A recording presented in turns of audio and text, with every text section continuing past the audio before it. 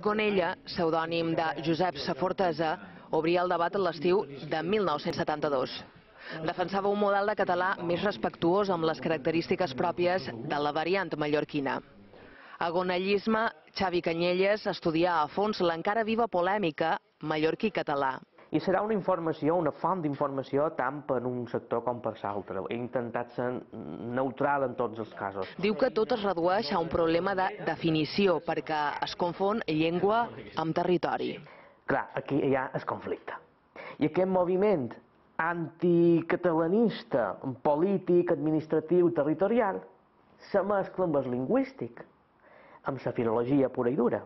I aquí és quan entra el conflicte.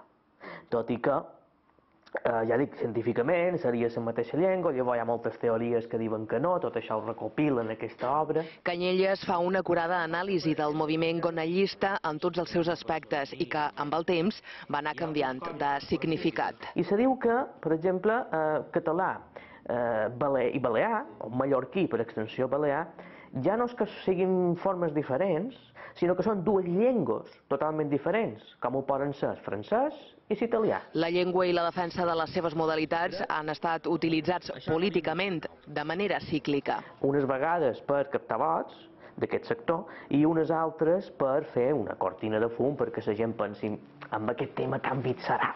Gonellisme, particularisme i secessionisme lingüístics a les Illes Balears, la dita documenta Balear i es presenta per Sant Jordi.